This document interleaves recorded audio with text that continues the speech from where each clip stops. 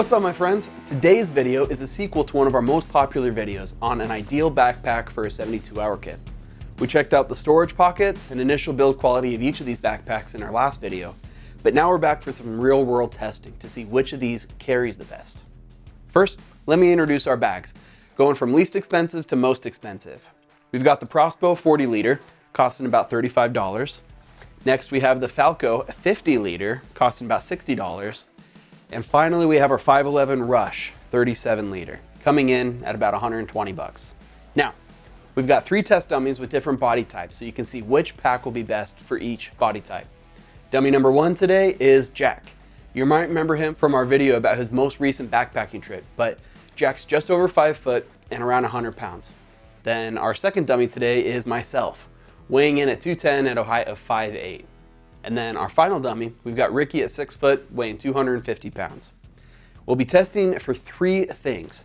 First being the initial fit, how comfortable it is when we first put it on and how easy it is to get it adjusted down properly. Second, we're gonna be testing how well they hold to our bodies during rigorous movement.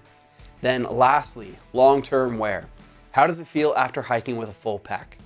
We'll be using a grading scale, one to five, with five being the best on each of these packs to hopefully help you pick the right one for each member of your household. Now, we're using water bags and plush clothing to simulate a loaded 72 hour kit, carrying 35 pounds for Ricky and I, and then 20 pounds for Jack's pack. So let's get started with the Prospo. This one has a unique Y-shaped strap coming from the bottom of the pack over the top, which we found to be quite handy in compressing the bag and keeping the bottom of the bag from sagging, pulling you backwards. You want the majority of the bag's weight to sit against your back over your hips so that it's not pulling back on the shoulder straps. This strap makes it easy to compress the bottom of the bag up against your back, bringing more of the weight closer to your frame. Additionally, we have straps on the top of the shoulder straps to keep the top of the pack close to your frame as well. Next, we have our Falko. This one also has the straps on top of the shoulder cushions, helping tighten the shoulder fitment. No Y strap, but after tightening these side straps, I'm not seeing the type of sag in the back that I'd be worried about. This Falko also has more of this breathable padding against your back, which makes a big difference during a long, hot hike with a heavy load. Now for the 511. The shoulder padding feels great.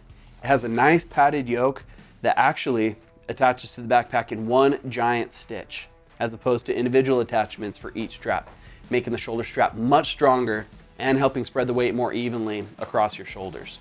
These side straps cinch down nicely, tightening up the body of the bag making for that tight fit that we're looking for.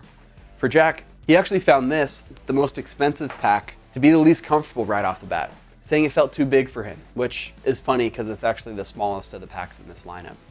Now, on to the dynamic movement test, where we'll be running and climbing over logs to see how well these packs hold to our bodies.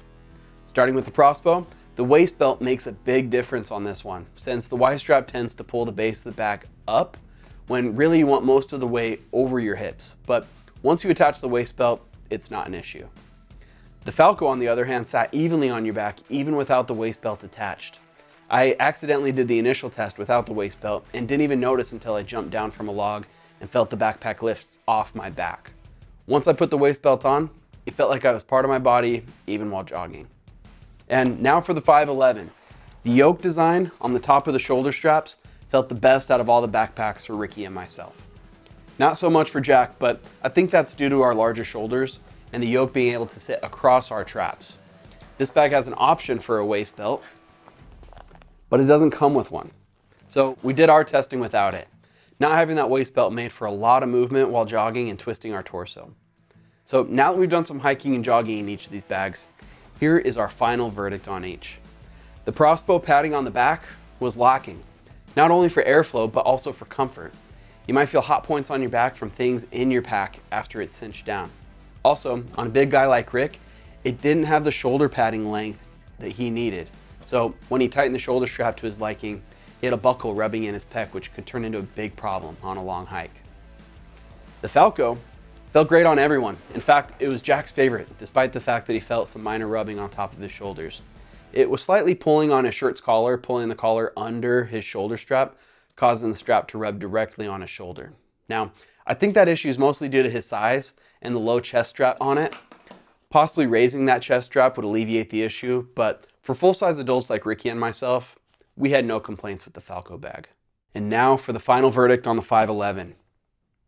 Didn't fit as well as the others on Jack, but Ricky and I both felt that it had the best shoulder strap in terms of both durability and comfort. Not having the waistband allowed it to move around a lot more left you carrying more of the weight on your shoulders, but that's what we get for not spending the extra 22 bucks on a waistband. But where we're trying to show the best cost-effective options, we wanted to see how well it compared without the additional cost. That being said, most of our complaints about this bag would be resolved if we just had that darn waistband. Now, I mentioned our scoring system in the beginning. Let's see how we rated each of these three backpacks using those parameters. Jack rated the 511 pretty harsh, only giving it a score of 6 out of 15. The shoulder yoke didn't sit right on his shoulders, and the adjustments it had didn't conform well to his frame. The Prospo and the Falko were pretty close, but the Falko still won out due to how well it held to his frame. My score between the packs were pretty close, but the Falko still stood out as the winner, again, because of how well it stuck to me while moving. I noticed a difference in the back padding as well that helped to earn an extra point over the Prospo. And now for Rick. Again, the Falko easily takes the cake due to the 511's movement and the Prospo straps digging into his pecs. And for all those reasons, the Falko is our favorite. The Prospo is a close second for people with an average to smaller frame, but the 511 did not withstand our scrutiny. Mostly because we're too cheap to buy all their additional add-ons. But hey, if 511 wants to send us a waistband or their larger Rush 72 pack, we'd be more than happy to make a follow-up video. But with both of these backpacks being well over $100, it's hard for most people to justify using as a 72 hour kit that mostly lives in the closet. Now, with the Falko being the winner, there is one word of caution to potential buyers. Check the stitching of the shoulder straps to the body of the backpack. Make sure there's a solid back stitch as you can see here.